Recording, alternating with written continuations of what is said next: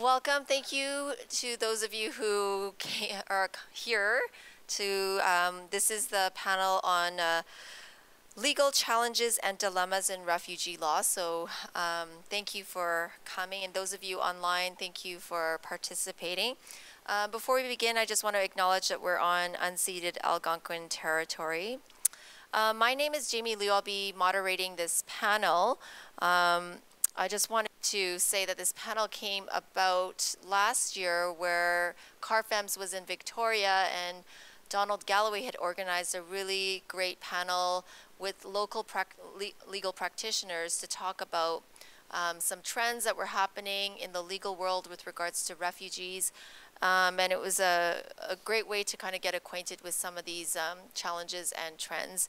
Um, so we decided to bring it back this year. This year we're highlighting um, some experts in the legal profession in Ottawa. And so on my very far left is Jackie Bonisteel. She's with Corporate Immigration Law Firm. And she's working on some very interesting test case litigation right now with regards to Safe Third Country Agreement. Um, next to her is Michael Bossin. He's with Community Legal Services here in Ottawa and has appeared at the Supreme Court of Canada, we think, five or six times. Um, and to my immediate left is Laila Demirdache, also from Community Legal Services, um, appeared at the Supreme Court of Canada three times. So we have, you know, a lot of expertise here to share with um, all of you today. So what we're going to be doing today is um, we have identified six different issues. Um, I'm going to frame them in a conversational question style period, and each of the panelists are going to answer them between five and 10 minutes. What I'll do is um, at the end of going through these six issues, uh, we'll open it up for questions, and I'll take a block of questions before um, I get the panelists to answer them. Okay, so without further ado, um, the first question we're, you know, preoccupied with is, you know, there's increasing attention, as you all know, paid to the Canada-U.S. border and the number of migrants attempting to cross it. Uh, what are the legal challenges being brought to the application of the Safe Third Country Agreement, and why is it, um, you know, relevant for us studying uh, this area of the of research? Um, Michael's going to take that on.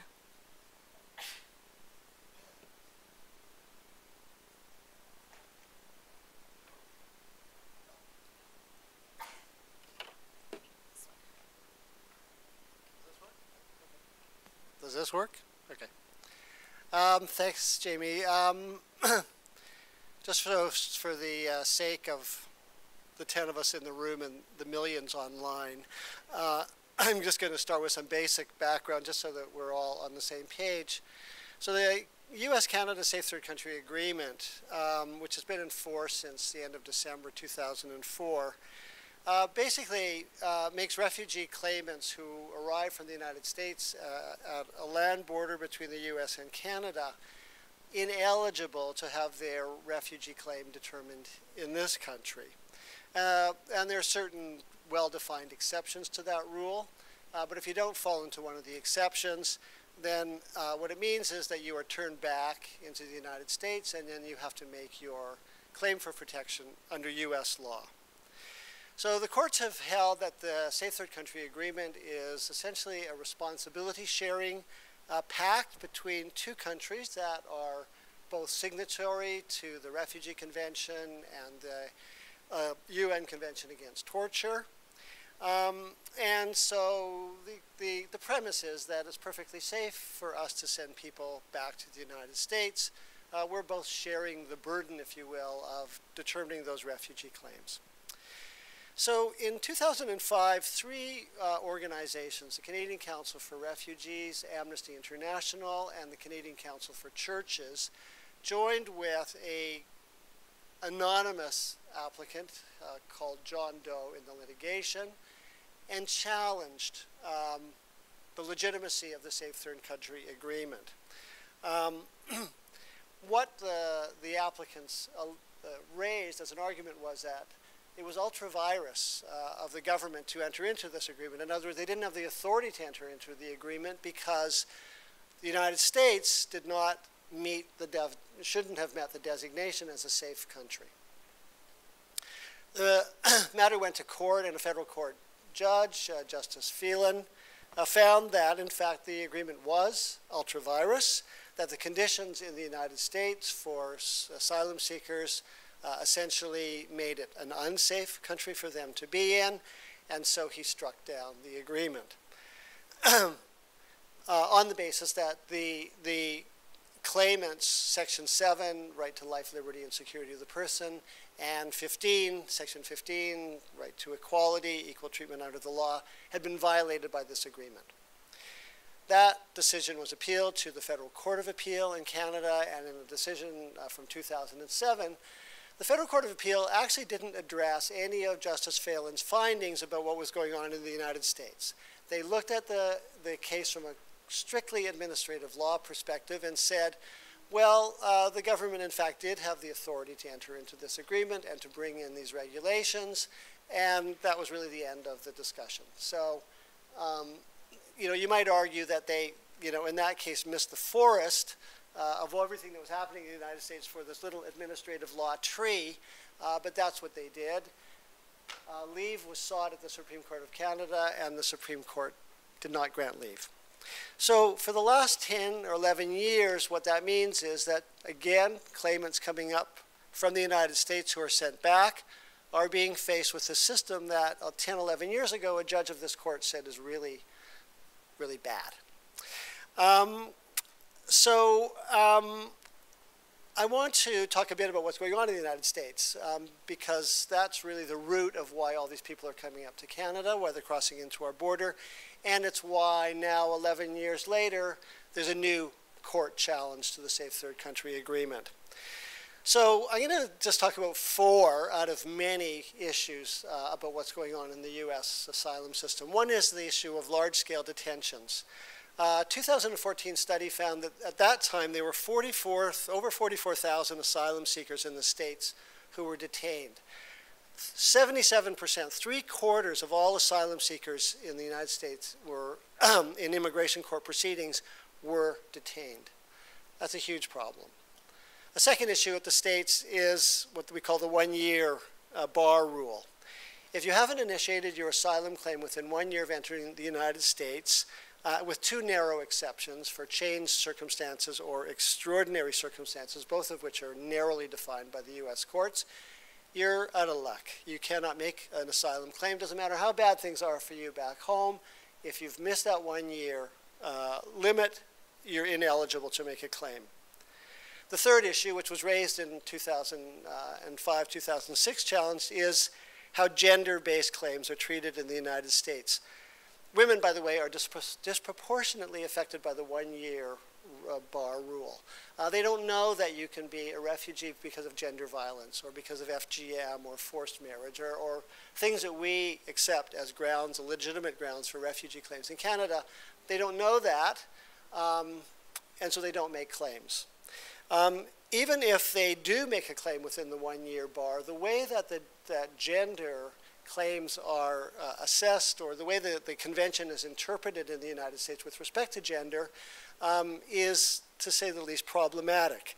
Um, for many years, because gender is not one of the five enumerated grounds in the Refugee Convention, it's not race, religion, nationality, membership in a particular social group or political opinion. For years, U.S. courts said, well, you're not a refugee because your claim is not based on any of those five grounds. In Canada, we consider gender to be uh, part of member of membership in a particular social group. In 2014, finally, a Board of Immigration Appeals uh, decision in a case called ARCG did find finally that women facing domestic violence uh, could fit into a particular social group. Um, the problem is that that decision has been, unfortunately, rather narrowly interpreted in the states. So the applicant in that case uh, was a married woman, and some immigration court judges have said uh, gender violence only applies to legally married, if, you if your abuser is your legally married um, spouse. Um, other judges have denied asylum to domestic violence survivors if they've managed to divorce their abuser, even if their abuser has continued to stalk them and rape them after the divorce. Also in the US, the way they interpret gender is you have to show that the motivation for the abuse was gender. And so courts have said, well, it wasn't, you know, it was because he was jealous or it's because it was for personal reasons. It had nothing to do with the fact that you're a woman. Um, all of which to say it's very tough, much tougher for women in the States to be accepted on gender based claims than it is here. And finally, again, I could go on and on, but there is in the United States this process called expedited removals. If you arrive without a valid passport or travel document, if you or, or at the border, or if you're within 100 miles of the border and you can't prove you've been in the States for more than two weeks, you're put into this process, which is a very speedy way to deport you. You can claim asylum. You can say, I'm afraid to go back, in which case you're supposed to be referred to what's called a credible fear uh, interview. Um, but there's problems with that. And one of the problems with that is that the standard uh, in the credible fear um, interviews is very high. Uh, claimants must show a substantial and realistic probability of succeeding in their claim, uh, which, to say the least, is much higher than the standard we apply in Canada. So, all of that is still going on in the United States. And everything that was happening 10 years ago, uh, in fact, uh, is worse. And this brings us to present day. And as you probably have heard, uh, since last year, Donald Trump has been president of the United States. Um, within days of him uh, taking office, uh, Trump issued three executive orders that, that, that concern immigration and refugees. Um, and so if we had any doubt about his attitude and his government's attitude towards immigrants and refugees, it was pretty clear within you know, less than a month where he was headed. The first order famously barred access to U.S. territory by nationals of certain Muslim uh, majority countries. Uh, the order also suspended the arrival of refugees who had already been processed to be resettled in the United States. The order said, no, they're not coming here. The second executive order broadly defined priorities for deportation, uh, encouraged immigration officials to prosecute migrants and asylum seekers for, asylum seekers for illegal entry, and dramatically expanded the powers of arrest and detention. The third executive order concerned that infamous wall um, to be built between the U.S. and Mexico border. Uh, it also called for the return of asylum seekers to, quote, contiguous territory, for example, Mexico, pending adjudication of their asylum claims. So we'll talk about that in a minute. So what you might anticipate have happened when Donald Trump became president has in fact happened. And the situation now in the United States is very bad and very hard for asylum seekers. Um, asylum seekers can be paroled, but the executive order says that that uh, power should be used only sparingly. And the reality is that the vast majority of asylum seekers in the United States are in detention and they remain in detention throughout the whole process. that means it's harder for them to get a lawyer, uh, a study from a couple of years ago showed that only 14% of detained asylum seekers get counsel, compared to two thirds who aren't detained. So you don't have a lawyer, that's already going to make it harder for you to be accepted. It's hard to make phone calls, it's hard to get an interpreter. They keep moving you from jail to jail, so even if you have a lawyer, your lawyer can't find you. Um, if you came with your family, you're often separated from your spouse or your kids. Um, and it's and needless to say, it's hard to get evidence, especially from back home, to support your claim. Um, and that's not to mention the conditions in prisons. Two minutes remaining. Okay, things are very bad in conditions. I won't go into detail. Um, in terms of gender, um, recently, uh, Attorney General Jeff Sessions, earlier this year, intervened in the case of a Salvadoran uh, claimant of domestic violence. He wants to basically turn back the clock and overturn the 2014 decision saying that you can be accepted as a refugee on the basis of gender. Okay. Um, and all sorts of other things are going on. So uh, last fall, the three organizations that went to court 10 years ago have started a new application. the last time that this happened, the court criticized the applicants by saying, you know, their applicant, their, their individual applicant, Mr. Doe, in fact, had never even come to the uh, Canadian-U.S. border, and they said, look, get a case where someone actually approaches Canada and is turned back. So this time, uh, in addition to the three organizations, there's a family, a mother and two daughters, uh, who are also claimants uh, and applicants in this, in this application challenging the law. Uh, we're also changed our legal tactics. We're not saying anymore that this uh, law is ultra-virus.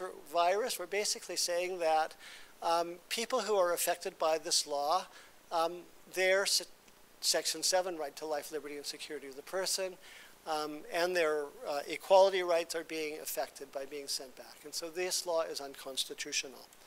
Um, the court granted us leave.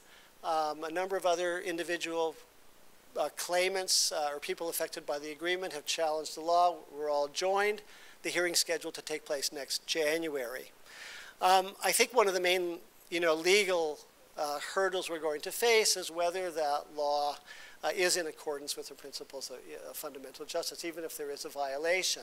Uh, we've argued, among other things, that the law is arbitrary, that the effect of the agreement, which is to put people at risk, uh, is arbitrary in the sense that it's inconsistent with the objective or goal of the agreement, which is to send people back to countries where those conventions are not only um, they've signed on to, but are complied with. And basically what we're saying is the United States no longer complies with those conventions. It's not safe for people to go back to the United States. And uh, that is all my time, I think. And so uh, that's basically an update on what's happening with Safe Third Country. And needless to say, and I think other people are going to say it, um, you know, everything that's happening in the States has caused thousands of people to come to Canada and make claims. It's backlogged the system here. Um, the only positive thing about it is that they've decided to reopen the uh, IRB in Ottawa uh, because Montreal can't handle all these people.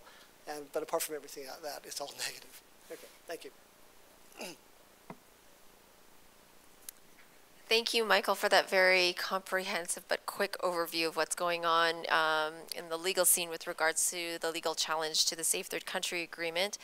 Um, I think this is a nice segue to our second question.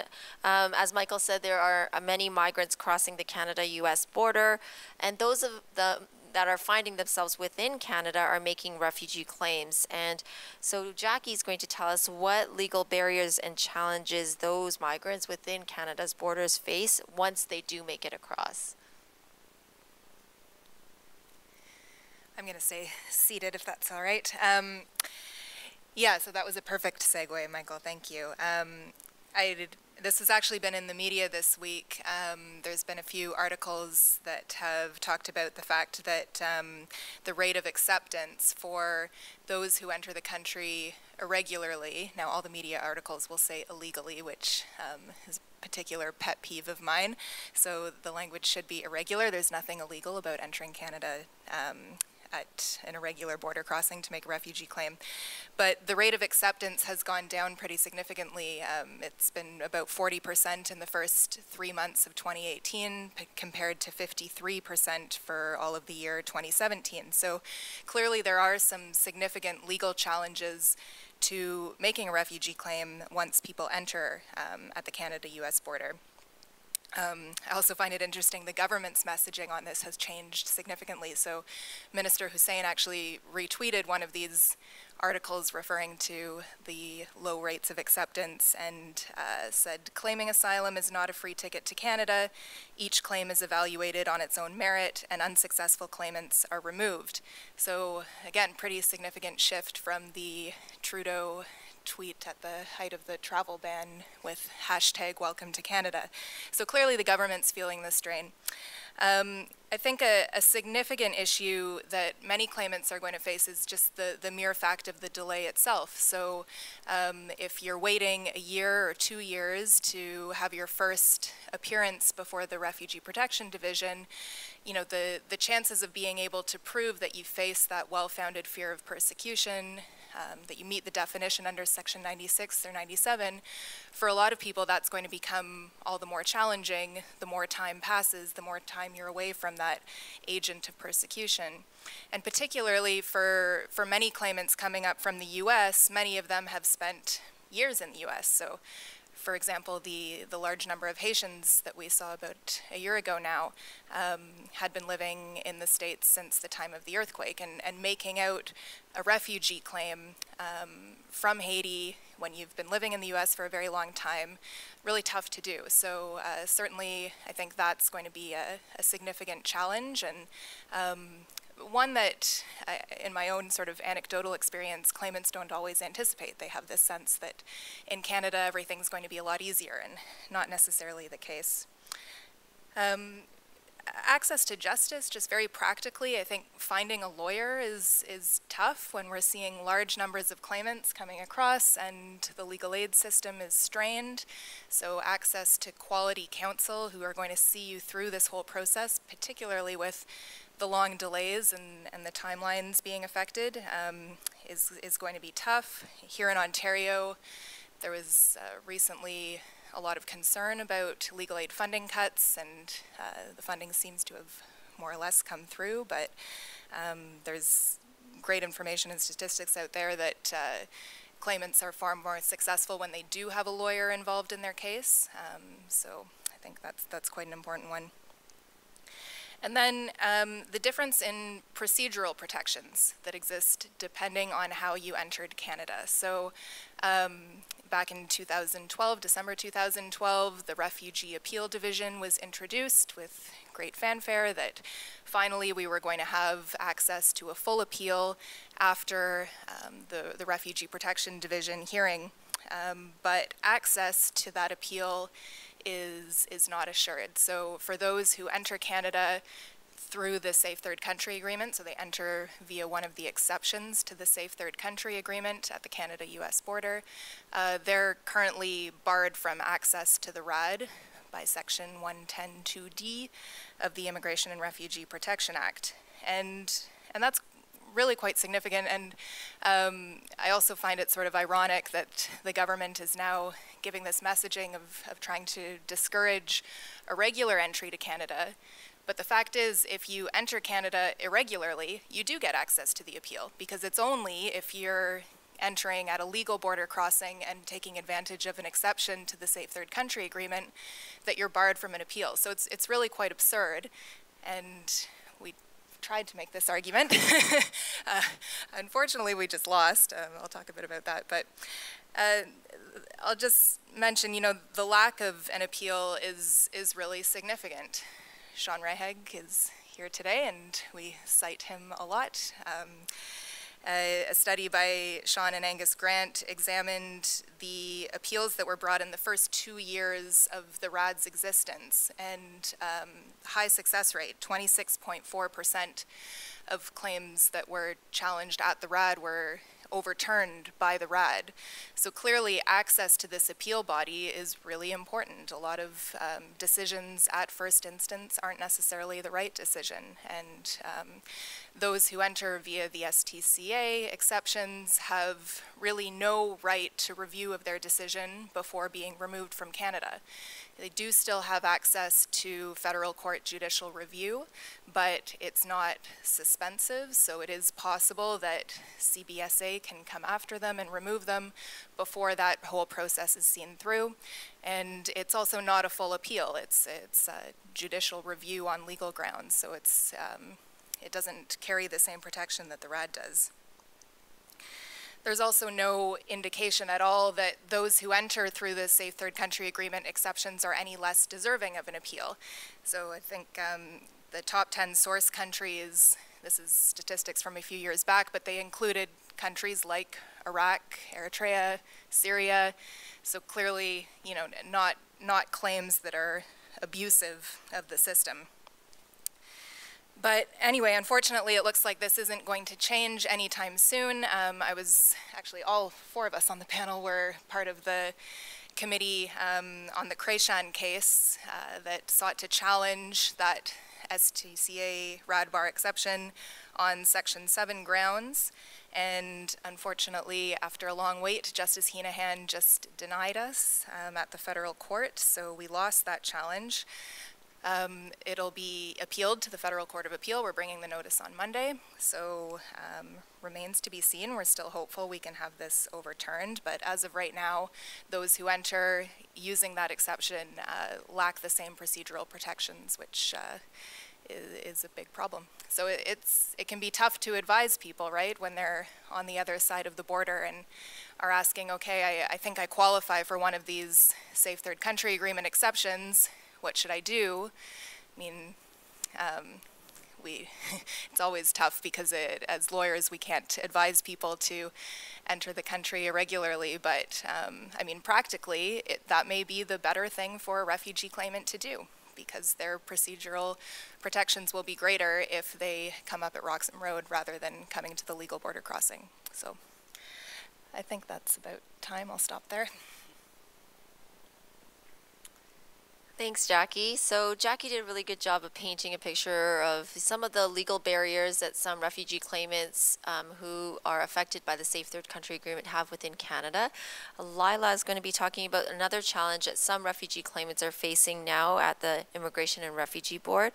Um, there has been a trend whereby women refugee claimants fleeing their with their children are now being confronted with assertions that they are excluded for refugee protection under Article 1FB of the Refugee Convention for serious non political crimes due to allegations of kidnapping their own children. So she'll tell us a little bit more about this trend.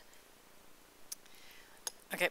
Um, so, as um, Jamie said, uh, even though uh, a woman might have fled the country because she has a well-founded fear of persecution, uh, having survived years of domestic violence, um, and she takes her children with her, she can be excluded from uh, protection uh, on the basis of Article 1FB, which is that she committed uh, a serious non-political crime, or there's reasons to believe that she's committed a serious non-political crime. When I first started practicing in 2002, uh, one of my first cases around 2002, 2003 was a woman who had fled uh, an abusive husband in Algeria. She had come to, she had gotten a visitor's visa to come to Canada to visit her sister, and she had uh, obtained the authorization of her husband to come with the two children that they had. And uh, when he realized she wasn't going to be coming back, he uh, went to the Canadian Embassy and uh, asked for a visitor's visa, and it wasn't issued because his wife had made a claim for refugee protection. So he alleged that Canada was complicit in the kidnapping of his children. And that was under the UN Hague Convention. Um, uh, and so what happens is that the minister intervened in that case. Uh, and uh, she was facing exclusion because of the allegations of kidnapping uh, under the Hague Convention. Now, the Hague Convention, Article 3, sets out the criteria for establishing that the removal of a child has been wrongful. And so a child is wrongfully removed from a country where it breaches the custody rights of a person. Um, and at the time of, and whether those custody rights are jointly held or not, and uh, where that person was exercising that custody. Uh, now, if the, there's a determination that the child has been wrongfully removed, then the Article 12 of the Hague Convention says that the, the, the state where the child is has to order the return of that child to its country of uh, habitual residence. In the refugee context, it means that somebody can be excluded from refugee protection for a serious non-political crime. Now, there are defenses to that under the Hague Convention, uh, and one of the first, and those are at Article 13, uh, and that's where you can show that the wrongful removal was uh, done to prevent the child from facing uh, or exposing them to a great grave risk of physical or psychological harm. Uh, where the child is mature is another and can uh, uh, himself or herself uh, state what their preference would be. Um, and also uh, where you can show that um, returning the child to the place would be a violation of human rights and fundamental freedoms. So in the uh, so what happens is that if you can show that there's going to be harm for the child, you can defeat that. And that's what we did in that case of the woman from Algeria. We got uh, uh, a designated representative was appointed to for the children because of the, the potential conflict between the children and the mother. And I obtained a psychological report uh, from a child psychologist who interviewed the children alone and separate from the mother. And uh, we were able to provide evidence that she, that they had, not only had they been at risk by uh, witnessing the violence, because that's a form of violence in and of itself, but he had been violent with the, with the children too. And she won her claim. In 2005, uh, there's a case called Kovacs that uh, was in front of the Federal Court of Canada. And in Kovacs versus Kovacs, the husband had brought an application, a Hague Convention application for the return of his children. And the Ontario courts found that the did not order the return because they found that, in fact, there was a defense that the, the, the mother had made out that the children would be at risk if they were returned. The federal court of uh, the federal court, with respect to the refugee claim, uh, the Mrs. Kovacs had been found was excluded, and the federal court upheld that decision on the basis that even though there was a Hague application that had not been uh, granted, uh, there was a serious non-political crime, that they didn't have to look at The Hague. So it's not only where the Hague Convention uh, uh, is brought up that they can look at this issue of exclusion, and that's the trend that we're finding more and more. I act as designated representative often before the board, and it surprises me the number of times where, even where there is no Hague allegation, that, uh, that issue will arise. And uh, an example that I had is another woman from, she was from Lebanon. It was years of domestic violence, and the, uh, she said in her narrative that she had applied for a visa for her and her children, and she knew her husband would not let her take the children out of the country, so she forged his signature. So the, there was a ministerial intervention, and again, we faced the same issue. We got a psych report for the mother, and it's really important in these cases for the person to spend time with the children, because I sat with the son, independently of the mother, to ask him, you know, what life was like with his father. Had his father ever been violent? And he said no. And as we talked, he said at one point that he was scared of his father. And I said, well, why are you scared of your father? He goes, well, you know, I get punished. Uh, when I get pun- when I do something wrong, he screams at me. I said, what, what does he just scream at you? He goes, well, sometimes he'll hit me. And I said, but you told me he wasn't violent with you. He said, no, but that's different. I'm, I was being punished. It's because I did something wrong. So it's, if you don't have the time, if you don't have somebody that will sit with the children and actually talk to the children and get an idea of what's happening for the children and the cultural context of what we see as corporal punishment and what they see as corporal punishment, the claim will be defeated. Uh, and again, we got another child psychologist in. We wrote, rewrote the narratives, and uh, we brought the defense. So where, what happens where there's no Hague uh, application is it's the Criminal Code of Canada, and those are sections 280 to 286 of the Criminal Code that talk about uh, ch child abduction. Again, there are defenses that you can bring about, um, but what happens is that exclusion is first if the person is excluded, they don't have to look at inclusion. And so what happens is now you have more and more women that are appearing before the board that have very valid claims for refugee protection that are not being examined because this issue is being brought up. They're on the defensive, right? So they're not talking about their persecution, they're trying to defend their actions. And a mother is not going to leave her children in a situation of violence. So that's one of the disconcerting things that we're seeing um, at, uh, at the board. Thanks, Laila. That's a great overview of a disturbing trend that's really, um, you know, creating a huge barrier for women refugee claimants, um, you know, providing some access to the, for refu refugee protection.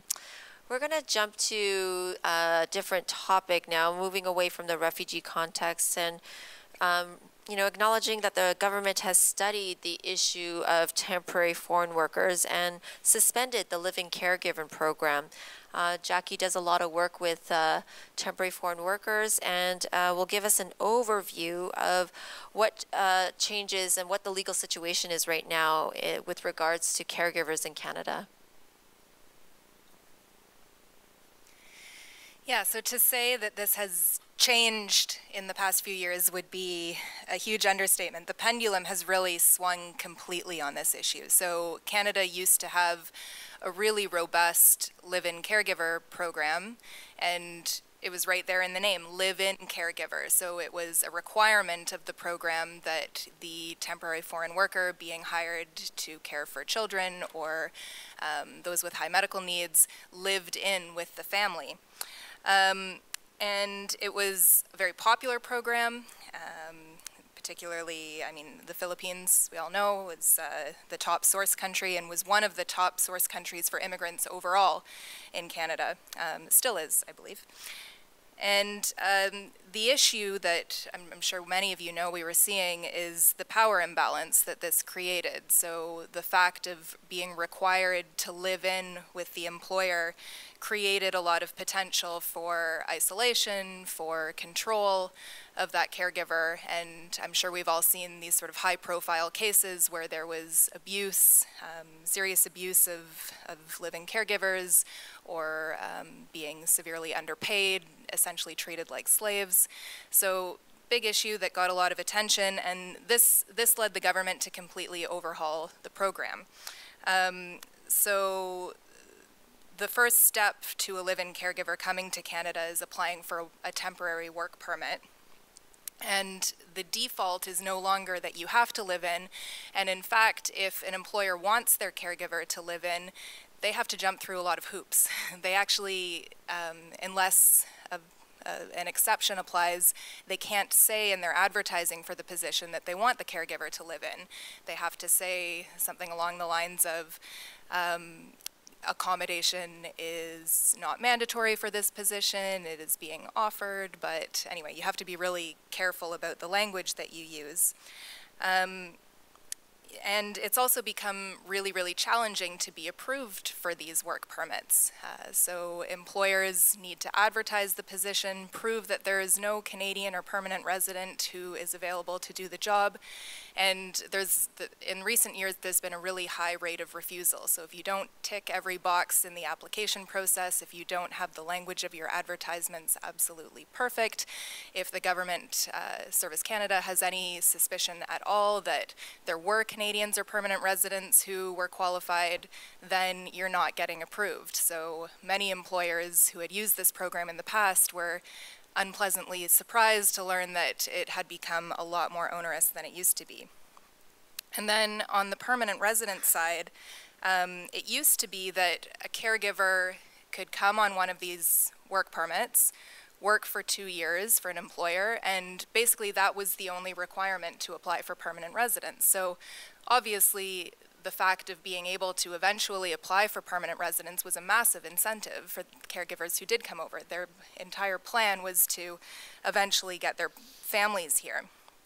And that live-in caregiver permanent residence program was scrapped completely and it was replaced by two pilot programs. So one for those who worked with children and one for those who worked with um, the elderly or those with high medical needs. And the new pilot programs had significantly more onerous um, eligibility requirements. So it still required that two years of work experience as a caregiver in Canada, but also there was a post-secondary education requirement and a language requirement, um, which wasn't quite consistent with the requirements to get the work permit. So a lot of people would qualify to come on the work permit, but would never meet those qualifying criteria for permanent residence. And what we've seen with these pilot programs is it's got like the fastest processing time I've ever seen because there's so few applicants. So if you do have someone who qualifies, it's great because they just fly right through.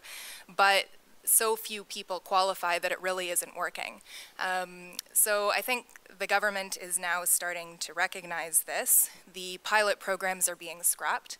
Um, so they're they run until September 2019, and it was just recently announced that those programs are being discontinued. And as of right now, they've been replaced with nothing. So um, obviously, this is causing a lot of panic in both uh, the employer community and the temporary foreign worker community. Um, wondering what's going to happen, if it's going to be replaced with anything or nothing at all.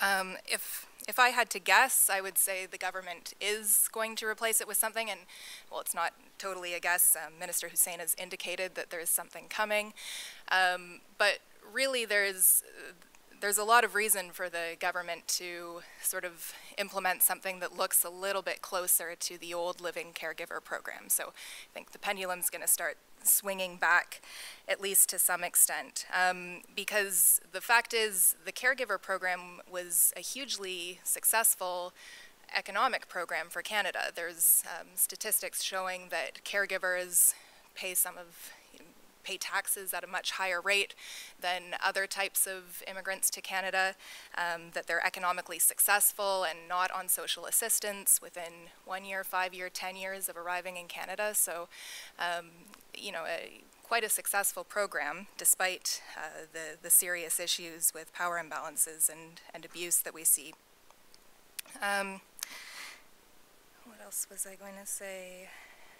And I think the other thing that I see in my practice is that there really is a genuine need here in Canada for this program, and that's only going to increase as well as, as our population ages.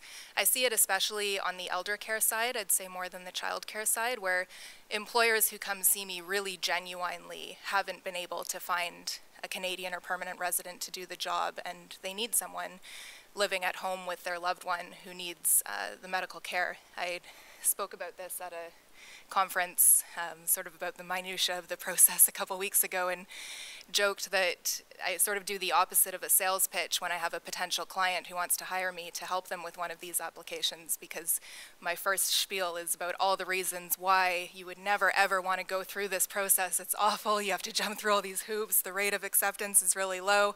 Um, but at the end of the day, people still want to go through with it because they need to. So it's an important program. Um, I, I think it's one that needs to continue definitely there were some changes needed. I think we just overcorrected and now um, we're starting to look at making some changes back in the other direction. So it'll be interesting to see how things develop over the next couple years. Thanks, Jackie. Uh, we'll be waiting to see what happens before um, the end of the pilot programs. Um, so next we wanted to also, you know, touch upon how the Minister of Public Safety and Emergency Preparedness, Minister Goodale, announced a few years ago that there would be a greater investment in building immigration detention facilities. Um, and the turn towards de detention has brought forward a number of legal challenges to immigration detention. And so Laila here is going to give us a little overview of what those are. Okay, so in August 2016, uh, Minister Goodale released a framework that was aimed at overhauling the immigration detention system. Now, according to CBSA, uh, the aim of the National Immigration Detention Framework is to create a fairer immigration detention system that supports the humane and dignified treatment of individuals while protecting public safety. So that's what the aim is. Uh, it's supposed to be launched, it was supposed to be launched in April, but it was put back to June. Uh, and um, somebody said today, I spoke to someone who said they thought June 22nd, but we don't know if it's going to go forward or not. There's, it's based on four pillars, partnerships, alternatives to detention, mental health, and transparency. So I'm going to tell you a little bit about what these four pillars are, and then I'm going to talk about some of the criticisms uh, with this, uh, with, uh, with the, the the framework. So in terms of partnership, uh, partnerships, they're working, CBSA has been consulting and working with various stakeholders to assist with the design, development, and um, the design and the implementation of this framework. And so one of the things that they're doing is that they're going to be working with community partners to see about uh, providing supervision and case management services for people who have been for whom they found an alternative to detention. So they're going to be working with the John Howard Society and the Salvation Army. Um, the, the, services that these organizations are supposed to be providing will be community monitoring, acting as guardians for individuals who can't get a, ca cash bond or have a family post a bond, um, helping ensure that people comply with the terms and conditions of their release, and uh, assisting clients to show up to the different uh, immigration proceedings. Uh, in terms of alternatives to detention, uh, CBSA is now supposed to be actively looking and working on alternatives to detention. Uh, and it's going to be very interesting to see how this plays out in an immigration detention uh, hearing room because uh, in in my experience, CBSA sits back and says, oh, well, we, we're not opposed to an alternative to detention, but nothing's been presented. But now there's an onus on them to actually work on alternatives and find alternatives for people.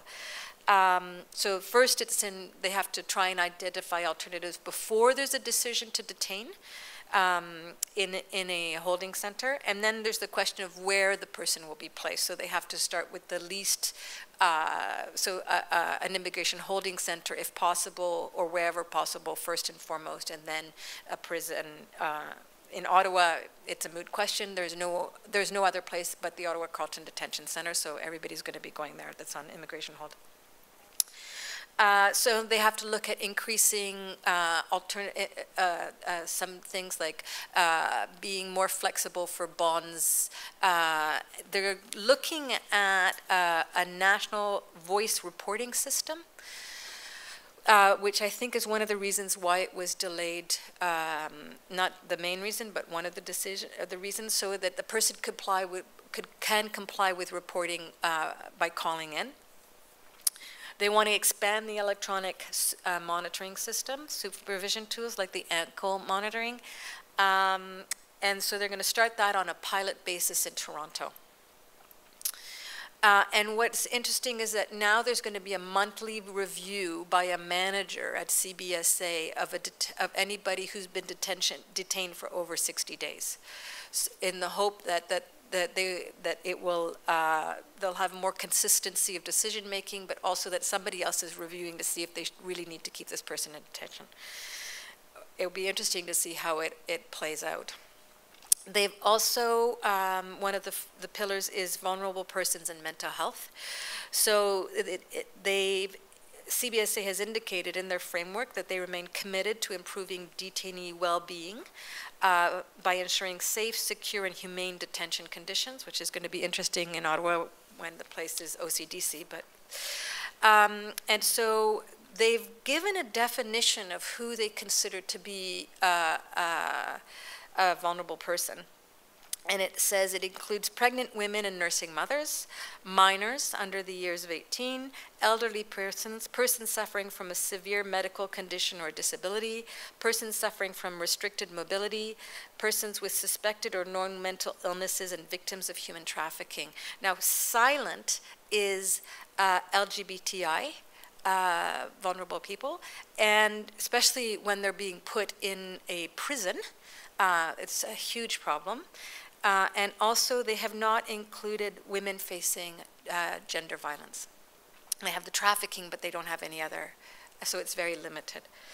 Now, uh, with the issue of mental health, the framework says that they want to look at uh, limiting detention of persons living with mental health issues, expanding the availability and use of alternatives, and improving access to essential medical and mental health services in the locations. But those are in the holding centers. Um, so it, again, if the person's being held in a prison, it's a different issue. In 2017, Minister Goodale uh, issued a ministerial direction for the treatment of minors in Canada's immigration detention system. Um, and so they issued a national directive for the detention or housing of minors uh, that reaffirms that the detention of a minor must be a measure of last resort, taking into account other applicable grounds and criteria, including the best interests of the children.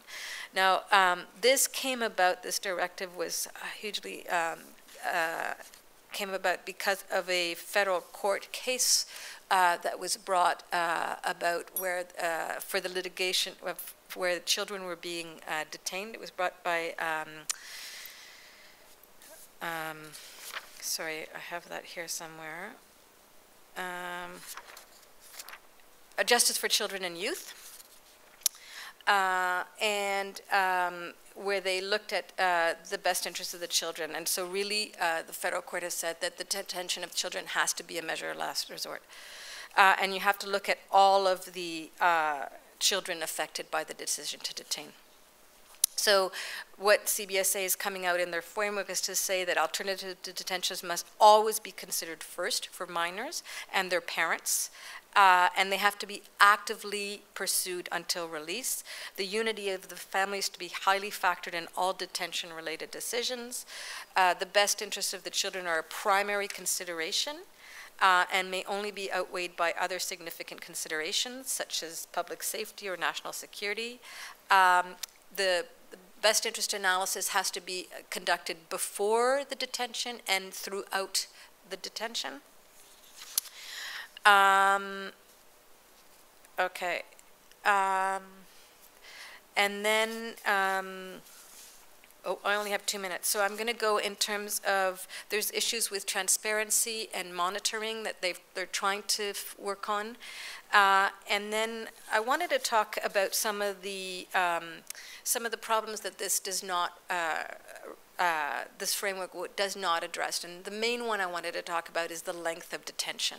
That's the the framework is completely silent on the length of detention.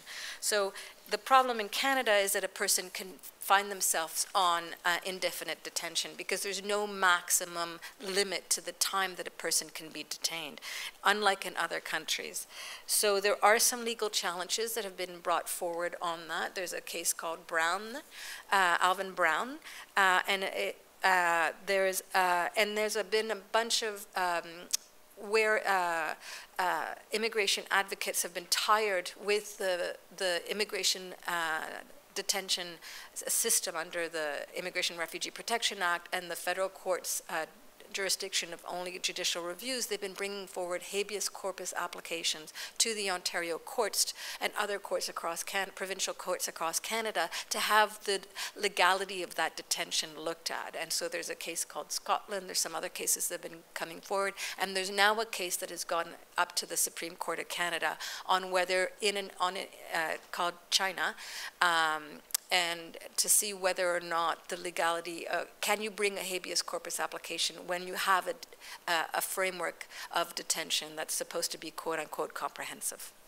So it'll be interesting to see where that goes.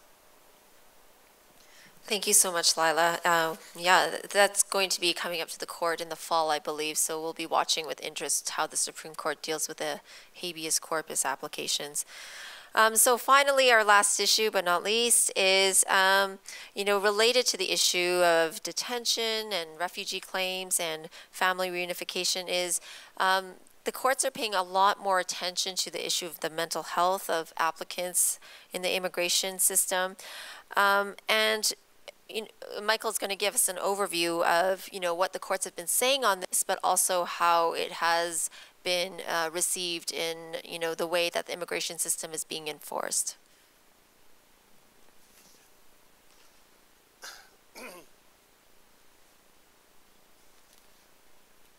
I find if I stand up, there's a, greater chance I won't fall asleep during my own talk.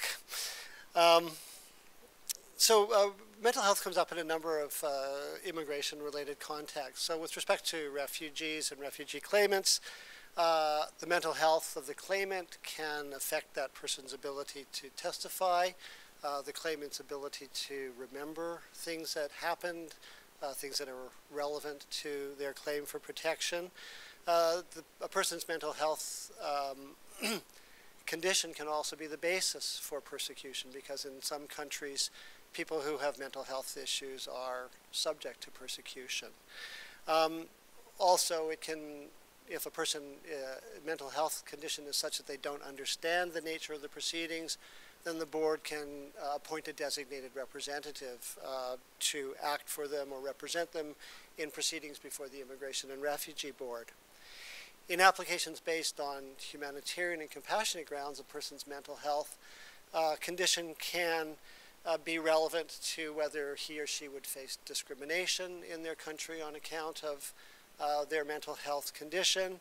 Uh, often it can be a case where the person is able to get treatment for that condition in Canada and have support network, uh, support network here, uh, which doesn't exist in the country back home, and so that would be the basis for uh, an argument that, that he or she would face hardship if sent back to their country. Um, in family sponsorships, um, mental health becomes an issue if the person being sponsored has a condition that uh, could cause excessive demand on our health and social services. That person could be found to be inadmissible to Canada under the Immigration and Refugee Protection Act. Uh, it also comes up in spousal sponsorship cases where one of the spouses has a mental health condition. Uh, the board, often these cases are, are refused and they go to the Immigration Appeal Division. And the board often, even overtly, will ask itself, how can this relationship be genuine? Why would someone marry someone like you who has this mental health condition? It happens. Um, a number of years ago, the Supreme Court of Canada uh, considered a case called Kanthasamy, and uh, the case was uh, based on a humanitarian and compassionate application. Um, the main issue in Kanthasamy was what is a test in an H&C application, uh, what is a test for hardship. Um, but the court uh, commented in a number uh, of paragraphs in the decision on mental health uh, issues, uh, in particular on how decision makers are to treat psychological reports of people who are applying to remain in Canada on humanitarian grounds. So looking at some recent jurisprudence, I don't think there's anything new in the law in terms of um, post-Kanthasamy. I think when you read decisions, what you find is that the judges, by and large, seem to have got it. Uh, but decision makers, officers, immigration officers, PRRA officers, uh, board members, they're not always getting uh, how to deal with, with mental health issues. So I have just a few examples. Um, there was a case called uh, Sitnikova uh, from last year. Uh, the case was an, a humanitarian application. The woman based her application primarily on her sexual orientation. There was a psych report uh, submitted in evidence in support of her application saying that she, if returned to Russia, her country, she would be at serious risk of psychological collapse and suicide. The officer who dealt with that application discounted the probative value of that report on the basis that the applicant had not sought follow up treatment for her condition in Canada. In fact, she had, which was one of the errors that the officer made. Um, but again, that's something that the Supreme Court of Canada said in Kanthasamy that that doesn't discount uh, what the psych report says just because someone doesn't follow up with treatment. And often people won't follow up because they can't afford treatment in this country. Um, the other the other thing that hap- uh, that came out in uh, Sitnikova was um, the officer said, "Well, you can you can you know yeah you're at risk of suicide if you go back to Russia, but there's mental health uh, treatment in in your country, and so I don't really give any value or give any weight to this report." And again, that's something that the, the Supreme Court in Kanthasamy specifically said that's not relevant. You know, if if the if the psychologist says that you're suffering from a condition that's going to cause you severe psychological trauma if you go back, the fact that you can receive treatment in your country, maybe, um, is not is not a reason not to give any weight to that report. There was a case uh, from this year called Nagarasa uh, which was uh, a pre-removal risk assessment application by a Sri Lankan man.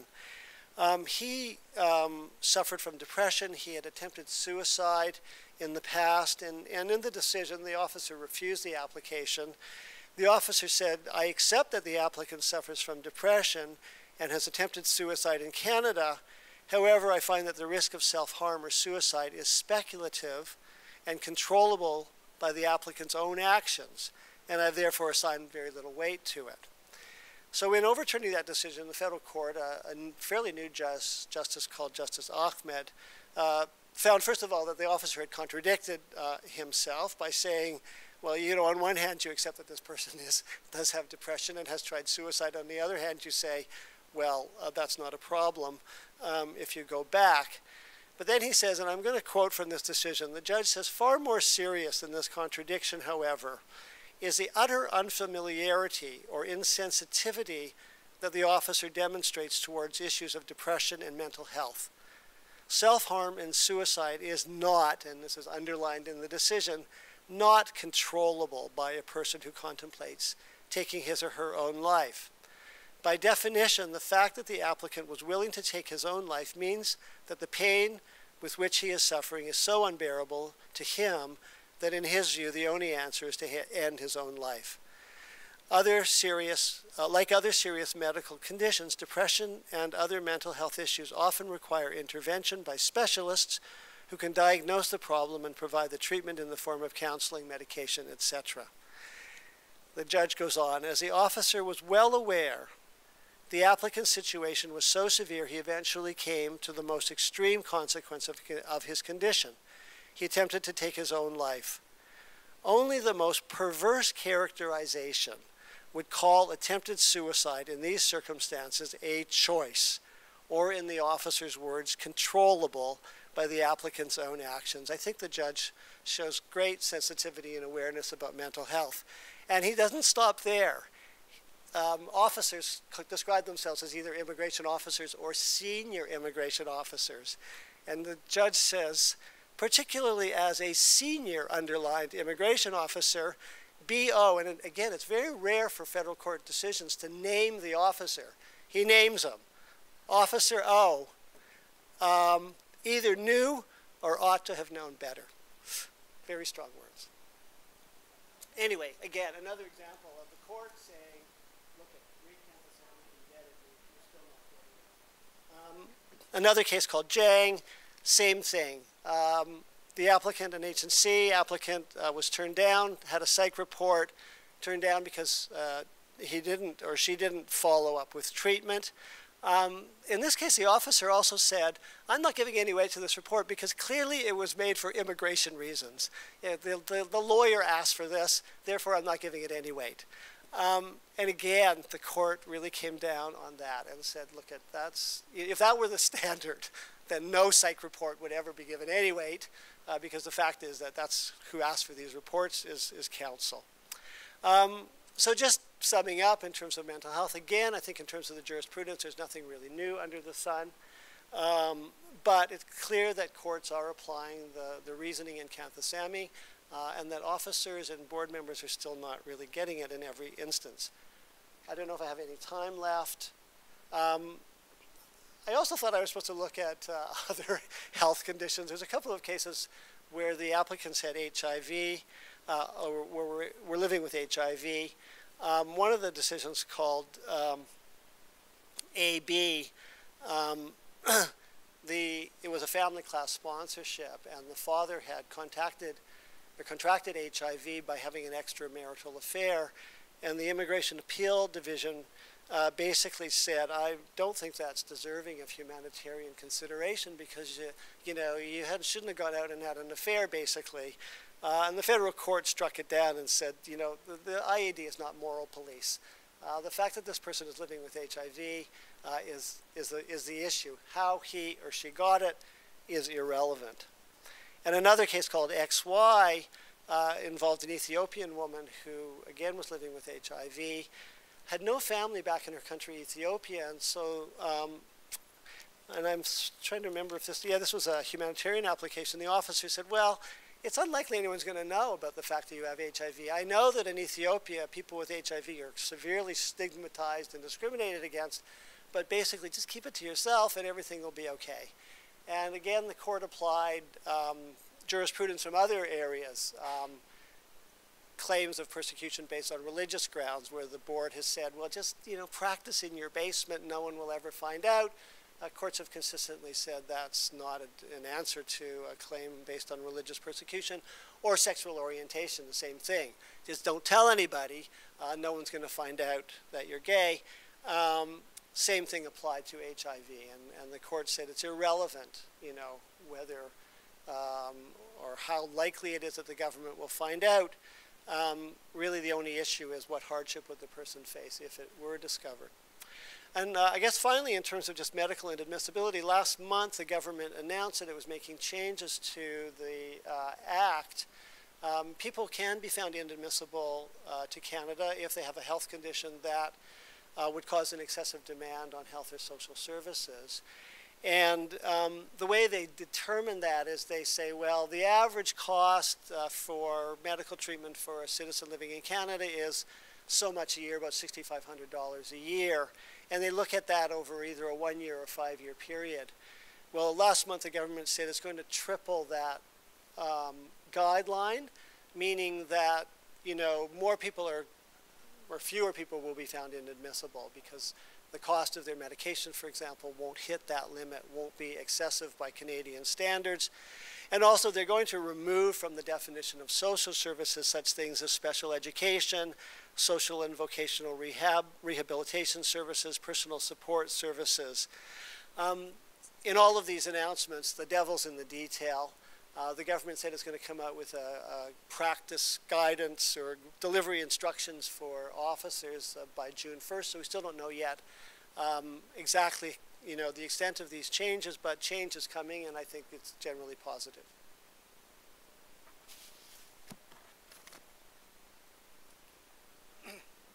Thank you, Michael.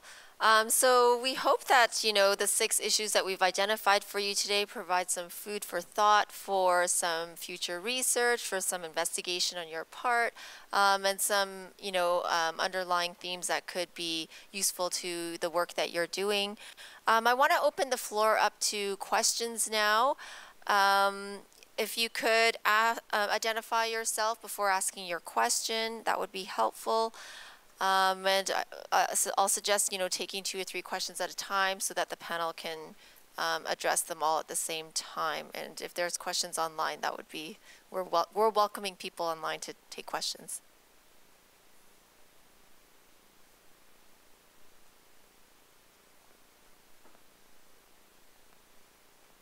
Hi, thanks uh, for that. Uh, uh, thanks for the panel.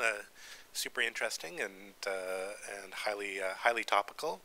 Uh, so I'm Sean Rehaag, um, and I'm I'm interested in the the safe third country kind of question. There's so many things that are problematic about the safe third country agreement, but one of the things I've often wondered is why advocates for refugees haven't done more with the, the concurring opinion in the Federal Court of Appeal uh, in in the the Canadian Council for Refugees case, and specifically uh, where um, uh, where Justice uh, Evans uh, agrees that with the the the majority opinion that there are administrative law reasons why the why the, the court shouldn't look into the substance of whether or not the United States is safe, but goes on to say, obviously, because of Singh, um, uh, it can't be the case that Canada can send someone to the United States who would meet the Canadian refugee definition but who wouldn't be protected in the United States, and thus says, in the existing regulations, it must be possible to, uh, to demand an individualized assessment before the person is sent back uh, to uh, uh, is sent back to the United States, and that that individualized assessment should be subject to um, uh, subject to federal court uh, oversight, and even goes on to say the government should develop guidelines to um, set out how this individualized assessment uh, should happen. And it seems to me that if if th that there would still be problems with safe there. There would be problems about encouraging irregular migration and leading to kind of the, the creation of, of, of uh, illegals rather than asylum seekers. There's the, the, the, rhetorical problems, particularly in the current context. So it wouldn't, it wouldn't resolve everything. But fundamentally, the big problem is Canada is doing indirectly what it can't do directly. And it seems to me there's resources to, to prevent that.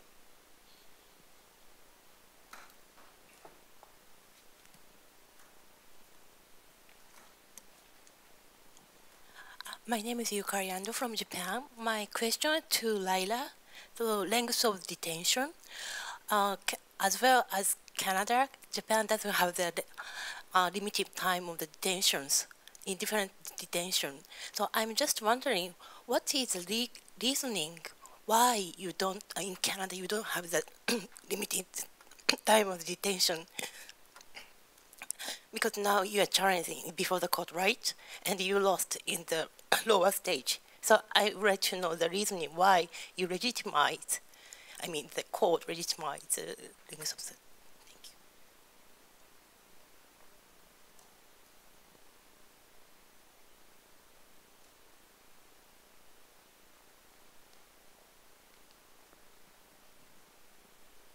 right, we'll take those two questions and maybe we'll see if there's any online questions. So, so I mean, excellent point, Sean. Um, a number of things. I think you know one of the problems with the first challenge was that um, John Doe never actually went to the Canadian border, and the, the court commented on that, and also at that time said. Um, you know, you three organizations shouldn't have standing anyway. We really need an individual uh, to come forward.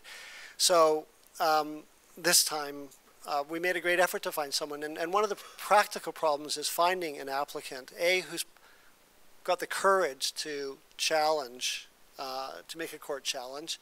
I mean, people arriving at the border obviously are extremely a vulnerable situation, but we, you know, also, but to know in advance that someone is coming and someone's going to make that claim, not to say it's impossible, but I think it's, you know, it's a practical challenge. Uh, the other consideration is that, you know, the Safe Third Country Agreement, as you say, is systemic. And even if we could succeed in one, you know, the, the, the court and the Federal Court of Appeal said, yeah, there should be some individual assessment of risk. Um, but I think the problem is so much bigger than individuals, and I think that's why we decided to go this time with the sort of general uh, attempt again to get the whole thing uh, challenged. Um, but yeah, you're right. I think under the law that uh, a very good argument could be said, look at if you send me back, you know, my Section 7 rights are at risk. I'm at the Canadian border. Singh says Section 7 applies to me. Um, so I agree with you, um, but that's, you know, as I say, I think it's um, the reason why we've, we've gone the way we've gone in this case is, is, is to challenge the whole damn thing.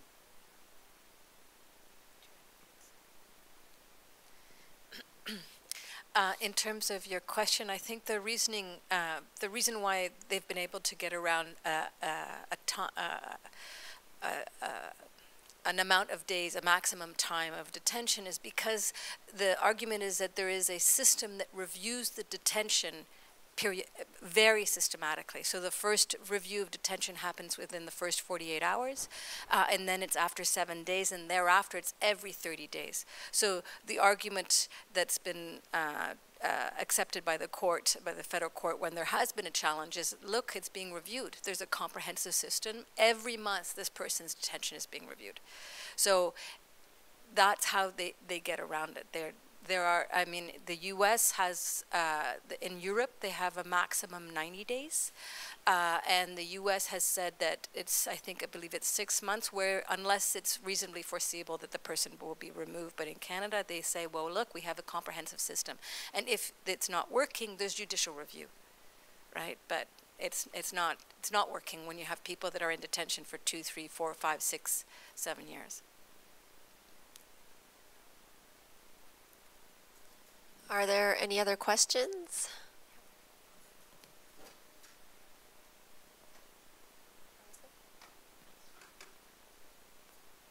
Um, thank you all for these excellent presentations, but more so the amazing work you're doing. Like, obviously, it's incredibly time consuming and demanding. So, just thank you.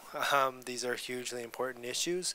Um, the question I was curious about, um, Laila, you mentioned the problem of ministerial interventions, and I'm just curious if there have been any observable differences uh, since the change in government in terms of maybe the volume of ministerial interventions or if there's been any reduction in that.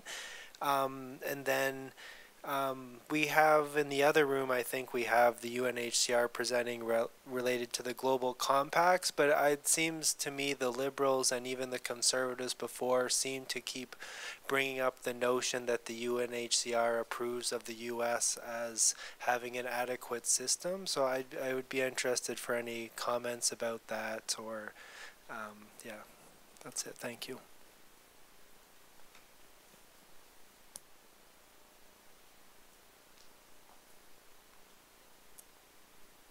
Um, in terms of ministerial interventions, I don't have any statistics. I don't know.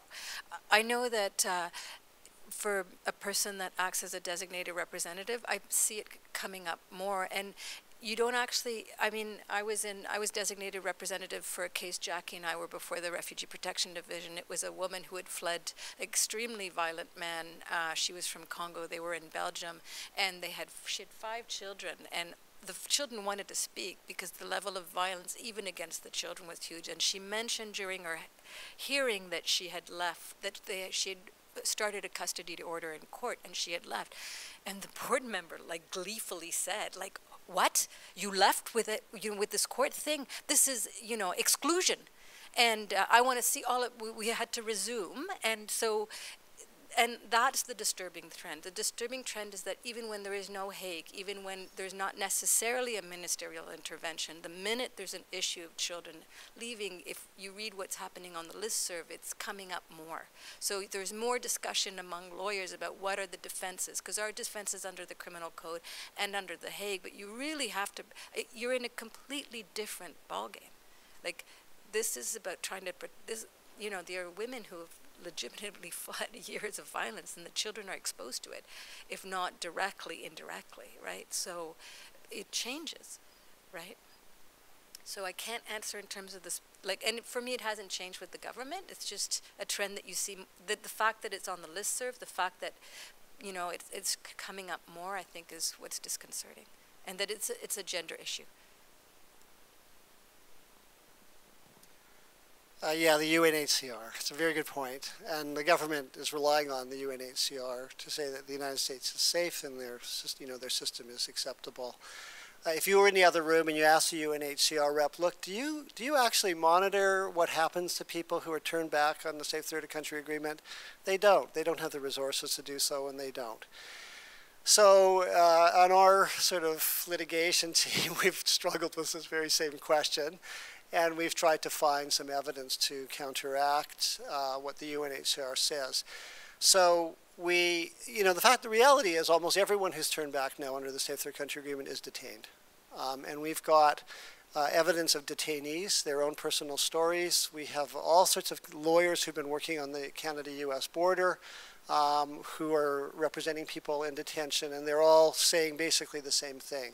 Uh, the Canadian authorities hand, you know, question the person here, hand over some package of materials or documents based on God knows what's in there to the U.S. authorities, and those people are almost invariably put into detention. And some of them have been in there for quite a long time. And we have that evidence in our case. Um, we've also got an agreement from Professor Jim Hathaway, who's an authority on refugee law, um, to say something about how the UNHCR monitors and, and to critique their position. Uh, he's a busy guy, so we may have to write that affidavit ourselves, but he said he'd sign it. Um, no, he hasn't done so yet. So, but you're right. It's it's uh, that's a you know that's a pretty that's a staple of the government's case against us, which is hey, the UNHCR says it's okay, so who are we to say no? We've accumulated a lot of people with a lot of expertise on the U.S. system who've really come to bat for us and, and sworn really exhaustive and lengthy and detailed affidavits, um, and we're going to rely on that evidence. Are there any more questions? Okay, I just want to thank so much Jackie, Mike, and Laila. They're very, very busy lawyers who obviously have a lot on their plate. They're doing, you know, important legal groundwork, but they're also being involved as advocates, you know, looking at the overarching themes of our society and, and taking up important legal challenges like this. So I want to thank them for their time today and for coming to a conference like this to share their thoughts.